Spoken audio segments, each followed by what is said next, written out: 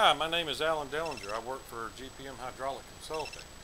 We're going to learn how to set the pump compensator and relief valve pressures. Now you wouldn't believe that how many plants I go into and what I find is normally the pressures are set too high. Too high pressure settings result in uh, excessive heat, which causes damage to the machine. Excessive shock also causes damage, uh, causes damage to the machine. Um, so every mill that I go into normally do see pressures uh, set improperly. So to start with, we will learn how to set the compensator and relief. Now the compensator should always be set 200 psi above what it takes to move the heaviest load on any system. Now the compensator on the pump controls your maximum pressure. You shouldn't get any higher than the compensator setting. The relief valve is a safety device. It should be set 250 above the compensator, so therefore it should never open, only if something's wrong. It's a, it's a safety device to absorb shock and in case the pump compensator fails. So let's uh, start by setting the pressures and see how that is done. Now we're going to use our mobile training lab for this demonstration. First thing you want to do is isolate the power supply. Now that could either be done by a hand valve immediately downstream of the pump and the relief or by using a flow control like this one here. So first of all, you, you close your manual isolation valve all the way so our flow is deadheaded. The first step after that is to go to your relief valve and you want to turn it counterclockwise.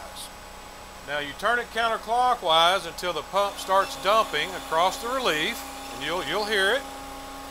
Uh, you want to lower your adjustment until you get to about 100 psi. Now that's far enough because some relief valves don't have a mechanical stop, and I know some adjustments will back all the way out, so you want to be very careful that we don't take a bath.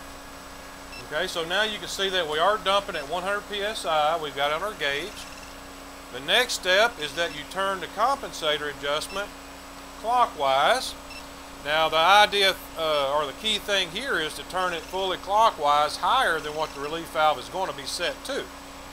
Okay, now once we have it turned all the way up, you'll notice the gauge didn't change as I've done that.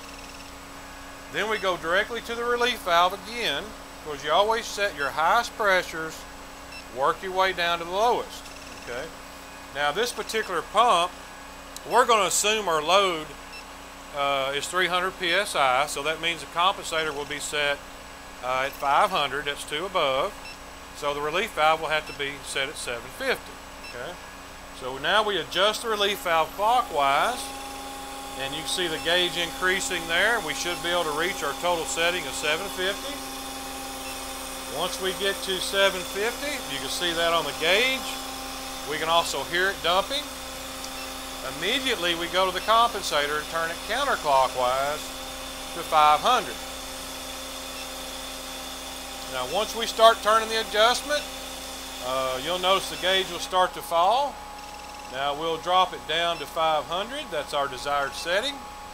And now we can lock down our compensator, lock our relief, and we can open our isolation valve back up and we're ready to roll.